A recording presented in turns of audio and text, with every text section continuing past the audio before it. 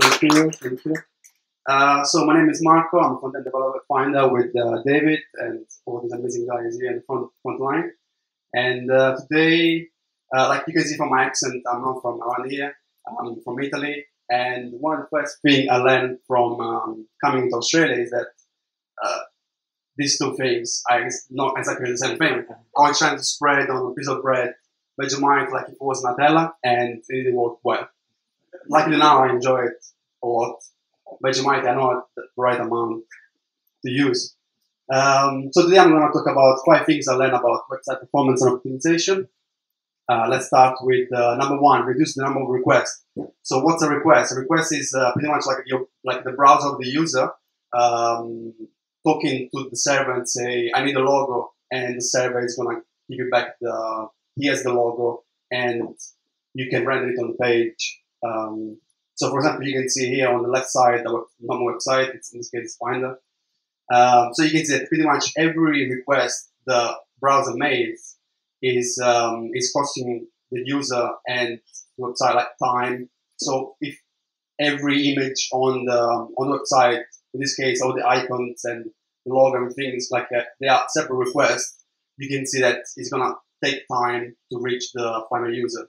Um, so what, what we can do is that maybe um, optimize website by reducing this number of requests when needed.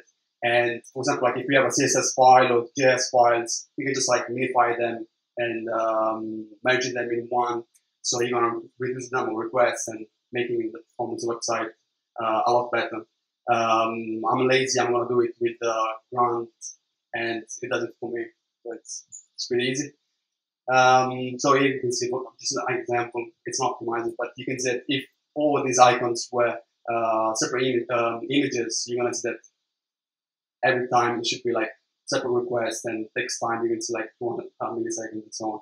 So it like, it's not just one image, it's like the whole thing like adds up in there. Um, second thing we can do is optimizing images. You can see from before, these images, what you can use is uh, you can op optimize them with um, for example, like in our case, we use like uh, I find I use like a Smartsheet uh, WordPress plugin that does that for us. We don't need to do anything, or we can do it again with Grunt. We got a Grunt task that um, uh, like optimize the images for you. Um, what's different between these two images? Uh, they look pretty much the same, but uh, one is 175 kilobyte and the one is 75 kilobyte. Again, it's it's all done in um, in the backend. Um, but like the question is like, do we actually need always images? We can do it uh, in other ways. SVG Base64, CSS3 uh, helps a lot with icons. Uh, or my favorite one is the icon font.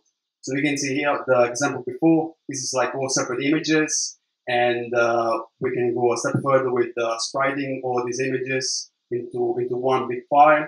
Uh, the problem with that is that, for example, like the, the magnifier, you can see it's uh, white for the form and then blue at the top. Uh, if it's a sprite, it means like you need to create separate ones for uh, each one of them. What my favorite one is again like the font family. And you can do that with CSS, changing the changing the size of the icon, the color, and it's gonna save again with just one request, the font family in this case.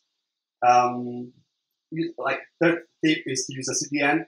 Uh, what's CDN? CDN is a content delivery network, and the trick is that um, instead of um, instead of loading the images from your server, you're gonna offload these images, up, upload them to another server, and in this case, the um, CDN, or, uh, and it's gonna do the loading for you. Like it's and um, and one more thing that it's it's good about CDN is that uh, it's uh, geolocating the user and it's gonna um, provide the image uh, nearest to the user.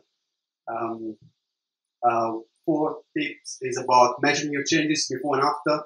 Uh, he's like a ticket we had to find. Uh, I guess a lot of people in the room can relate to. Is uh, coming from a product manager or uh, your CEO or whatever. Make website faster. I mean, it's it's it's it's always there. And uh, yeah, you can see here that uh, we had 32,000 uh, image requests um, in 5th of May.